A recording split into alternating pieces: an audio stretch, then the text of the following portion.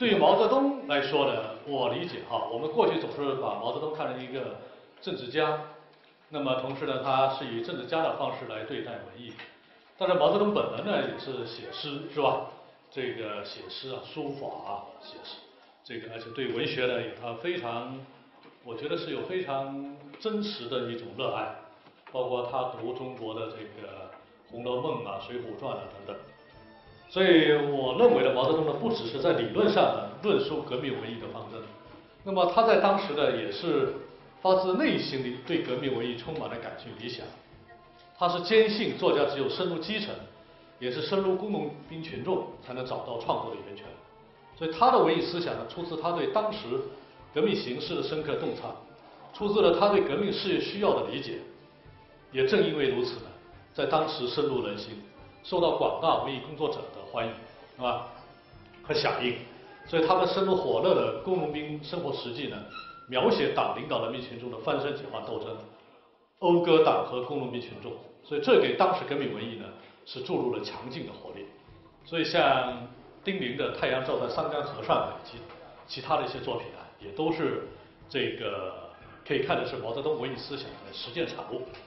所以也正因为呢有了解放区的文艺的创作，所以我们把一九四二年作为这个新新的革命文艺的起点，作为当代文学的起点呢，我们才显得更加的充分有力。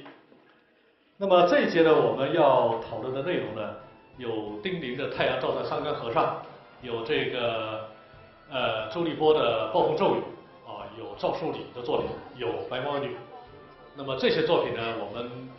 都把它看成是这个解放区这样一个呃环境中所产生的作品，同时也是中国当代文学的奠基之作。大家知道，这个丁玲是一九三六年到延安，那么在此之前呢，他被抓到监牢里面。经过我地下党的多方营救的，那么他到了延安，是吧？毛泽东是给丁玲写过一首词，那么据说呢，毛泽东是几乎很少，他因为跟他们合唱，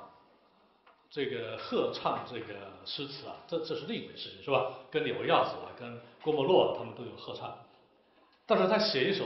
诗送给人，他还是很少的。那么这是一首《临江仙》。他说：“这个壁上红旗飘落照，西风漫卷孤城，保安人物一时兴啊，洞中开宴会，招待处老人。先比一支水雨寺三千毛色骑兵，精兵啊，正途开向鲁山东。昨天温小姐，今日武将军。当时军事电报、军事电台那个是非常非常紧张的，但是给一个女作家。”在前线的女作家，当然这个要鼓舞啊作家这个表现工农兵反映革命斗争是吧？这当然是可以，这完全是必要的，是吧？但是当时正值西安事变的紧急的时刻，西安事变这个张学良把蒋介石扣住，当时毛泽东呢非常兴奋，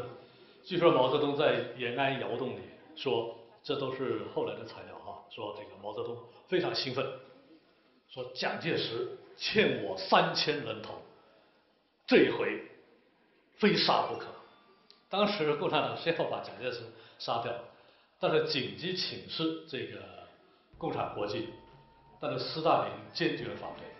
斯大林拍给这个中共的电报的行文是什么呢？居然如此无礼。他说，中共必须。放走蒋介石，维护蒋介石作为中国抗战的领袖，否则共产国际将视中共为共匪。这这是非常无理的哈。但是据说这份电报有档案为证，所以我不知道真假，只是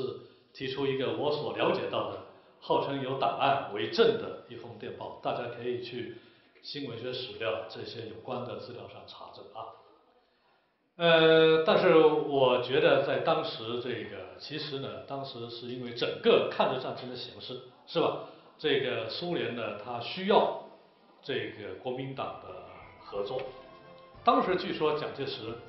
也在和这个苏联谈判，他是提出了某些条件。如果说苏联能够把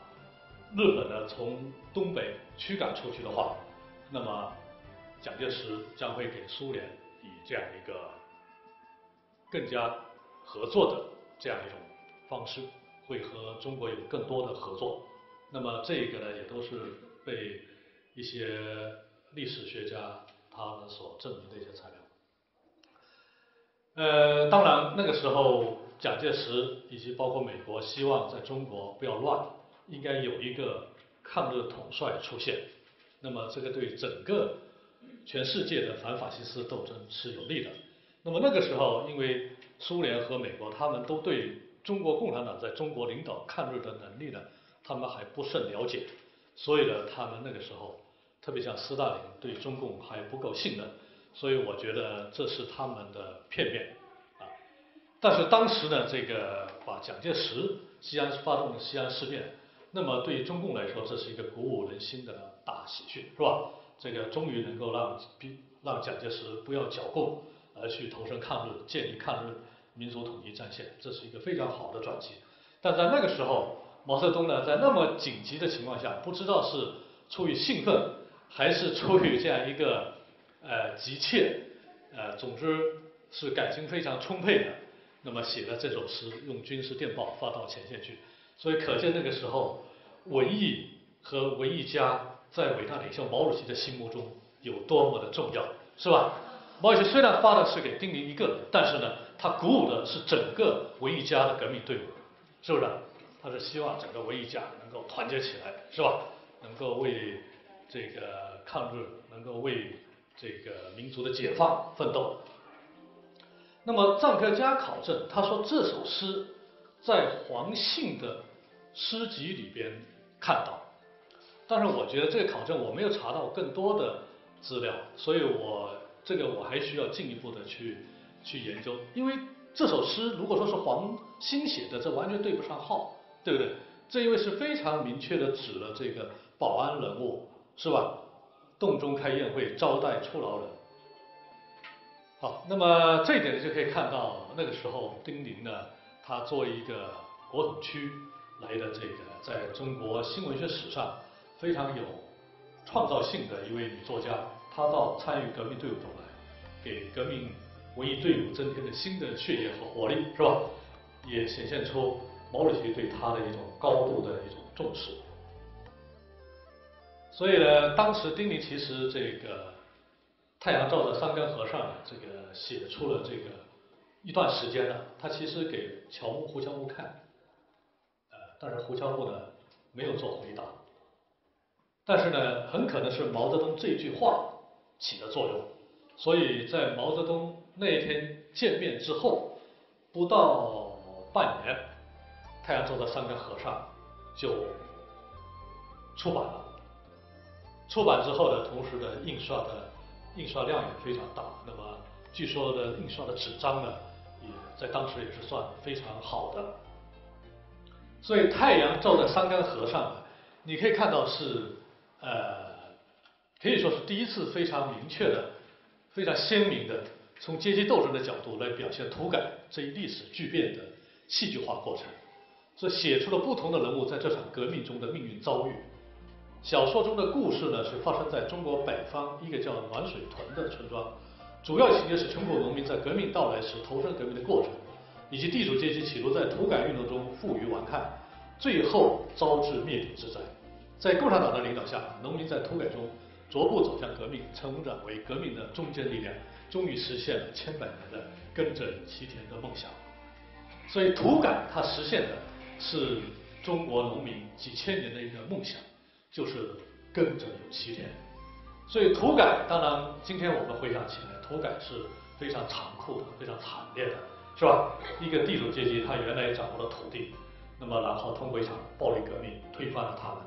农民从他们手中把土地夺走。那么，但是呢，农民是中国共产革命的主力军，在这个革命开始的时候。共产革命的诉求就是打土豪分田地，是吧？第一次国内革命战争，第二次国内革命战争，都是这样的口号。直到共产革命这个往前深入，中国共产党这个在抗日战争之后，这个更全面的这个掌握了中国的呃局势的时候，推开展了土地改革运动，所以这是他制胜的一个重要的一个步骤。所以后来蒋介石逃到了台湾，一九四九年之后，他所开始的第一步也是土改，就说如果说在中国这个社会，谁掌握农民，才能够真正掌握天下。所以蒋介石后来琢磨，共产革命为什么会成功，就是因为他有了农民，农民有了土地，所以这是非常重要的一点。那么有时候历史的这个黑格尔说过一句话：历史之恶，历史往往是用恶的杠杆撬动它前进的。所以当我们有时候历史之恶和历史之善，那么历史的前进这些，我们如果在现代性的意义上去理解它的话，有时候我们这种道德的评判，它就会退居其次。那么今天我其实说起来，我作为这个和剥削阶级划清界限的这样一个这个后代，属于这个党可以教育好和这样一个后代啊，所以我当然是完全的拥护共产党。我是从一个历史的角度来看这样一个土改，这个地主阶级和农民阶级的他们在这样一个历史时期呢，他们不同的一种反应。就是说，因为有我这样一个切身的一种经验，所以有时候对土改，它一方面是那么的惨烈，是吧？另一方面呢，它是那么的地主阶级在这样一个革命面前，他是非常的迷惘，他没有清醒的认识，他就认为是一群这样一个农民，这样一些当时都是很不就是村里边的、乡里边这个地痞流氓啊，像这些。很不成器的，不想好好劳动的，那么这些人呢，他们来造反，所以他不认为是他整个阶级的一种覆灭，他没有那么高的政治觉悟。当然，如果说他当时认识到这是一个伟大的历史的开始，像他这样做一个没落阶级的，他是应该为这个时代让道的，那他就不会去要那个锄头，是吧？所以应该这么去理解他。那么土改呢，它确实是让这个。千百年的耕者有其田呐，终于这个农民他是有了自己的土地，所以在这一部小说中的《太阳照在三干河上》，大家可以看他第一次从阶级斗争的角度来写的这个小说。那么丁玲在此之前，大家知道他是一个左翼的作家，是吧？那么沙菲女士的日记，这个这个这个书大家肯定都看过，是吧？沙菲女士的日记，那么是写。沙菲女士是丁玲一九二七年写的，是吧？她那时候只有二十一岁，发表出来是二八年的春天。那么里边写的那种感情，完全是一个小资情调，是吧？但是后来呢，他走向革命，开始写了这个田大葱，后来有水。那么水呢，大家如果读过现呃夏志清的《中国现代小说史》的话，可以看到夏志清对水的评价非常低。那么对丁玲的评价呢，也是非常的呃片面，充满了偏见。他认为丁玲原来还是可以写白话文的，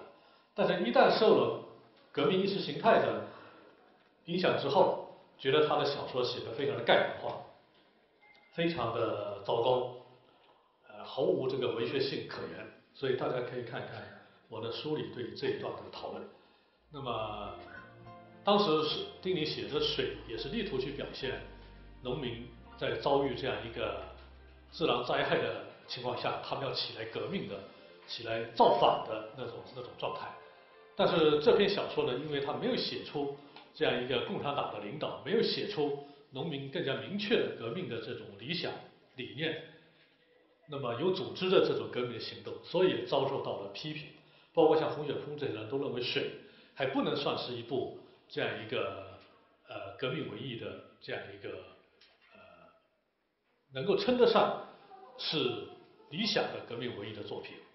所以对他也提出了很多的批评。那么直到太阳照在桑干河上，你可以看到这部小说里面非常清晰的，已经是从阶级对立的关系来描述这样一个土改运动，是吧？地主阶级、农民阶级，让农民阶级他如何一步步的接受了革命的真理。受到革命的启发，然后明确了革命的方向，所以这里边写的像张玉明，是吧？你像这个陈伦，那么像李昌这些年轻人，他们是如何的从过去被压在社会的最底层的这样一个贫苦的农民，而成为革命的领导者？而像钱文贵，那么像李子俊，像这些人呢，这些地主阶级，他作为一个没落阶级的到来，他们在这场革命面前所表现出的那种惊慌失措和最后的一种绝望。大家看这个李子俊，其实在这部小说中，地主阶级在这里面，他们在作为人格的道义上，他们都是腐朽的、没落的，是吧？李子俊又抽烟，又赌博，又愚蠢，当这个家长又被人家骗，所以整个地主阶级呢，他已经无力经营这个乡村了。而像乡村的能人，像这个钱文贵，却是一个他根本不劳动，他也没有地，他就是靠在这些关系中呢。在这个搞搞这个关系，然后人家给他送送面，然后送这个送东西送食品，所以在这里面整个地主阶级呢，他们的阶级性已经被定位了，是不是？大家想一想，就是说这个格文学作品，它本来我们的文学作品中它是没有阶级这个观念的，所以这个问题就是阶级这个观念。有一次我跟某一个学者在论争。就是阶级和阶级斗争这样一种观念，它是客观存在的，是历史原发的，还是被命名的？这点我不知道在座的同学是怎么看？这是不是历史中存在的一种地主阶级？那么，假定说存在这种地主阶级，这个地主阶级的本性是什么？是吧？那么。地主阶级和农民之间是不是必然的存在的阶级斗争，是吧？那么毛泽东说过，人民只有人民才是历史创造的真正的动力，是吧？迄今为止的这样一个历史，都是农民阶级推翻地主阶级。中国的封建时代以来的这样一个历史，都是农民阶级推翻地主阶级的历史。那么。当然，这是中国接受历史学家接受了马克思主义历史唯物主义的观点，这样来叙述历史。如果说我们看西方的历史，大家可能都读过威尔斯的《世界史纲》这一类的历史书，那么它不是，它就不会不是以一个阶级斗争的这种关系模式，农民和地主的这种对立来建立历史叙事，是吧？那么在这里我们可以看到，这个地主阶级已经被命名为是腐朽的、没落的。无能的，以及是坑蒙拐骗的，是吧？他们在乡里是恶霸，是横行作恶的。